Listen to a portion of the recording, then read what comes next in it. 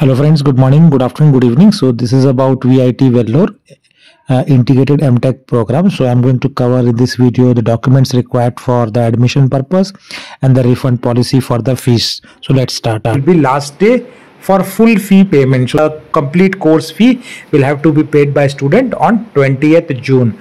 And after that in July, there will be orientation program uh, for the students who are for joining the and the commencement of classes will also start around 15th of July. Now, once you go for the admission, you need to carry good number of documents. So this is set of documents which you need to carry and you should watch it clear carefully so that you don't miss it.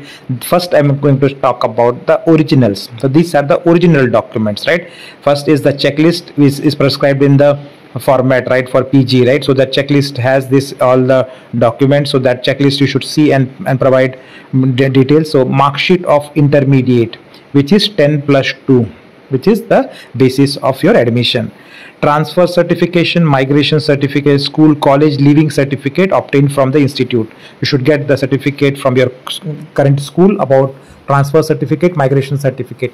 Two copies of recent passport size color photograph then you have to fill your profile on this link student profile on vi via vt obata.vit.ac.in backslash student profile. So again they will send this link to you when you get admission. Don't worry about this.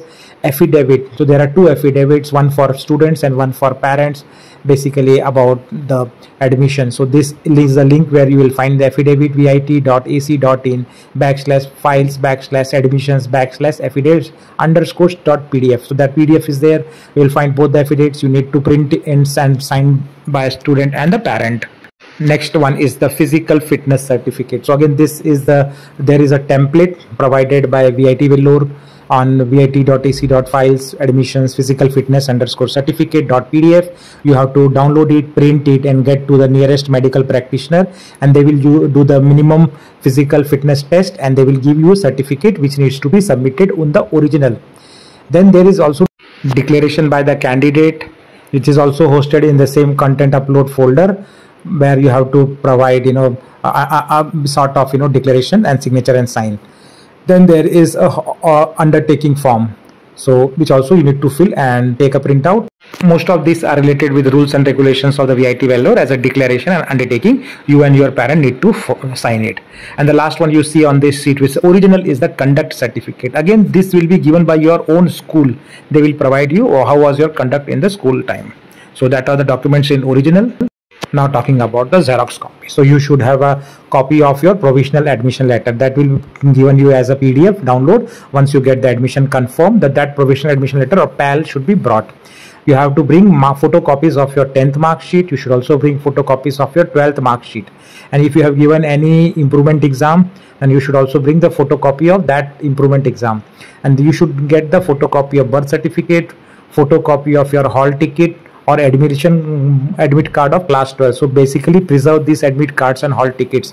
Photocopies of that will be required during the admission process and joining the college.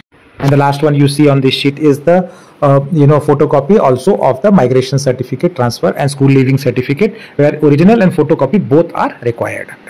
And in the same video i am also telling you the admission cancellation process or the refund process. So everything will be refunded as per the UGC policy. So you will get 100% re refund back if you apply up to 30th September safely or up to 31st October with some you know deduction of 1000 rupees. So eh, most of the things you will get back your full money and then academic cancellation the process is like uh, you should have a written letter or email from the parents and required for confirmation of cancellation.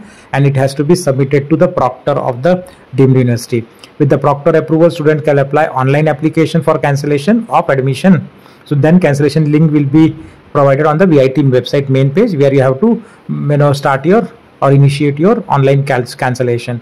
You have to collect the no due certificate from the office of PG admissions and you have to submit original provisional admission letter what you got from the Vellore admission team while paying the fees and then TC will be given only if original migration transfer scholar certificate is submitted already so those will be returned back you know if you have given in original earlier when taking admission. So that's all the details, everything I have covered, fees, admission, cancellation, costing process, etc.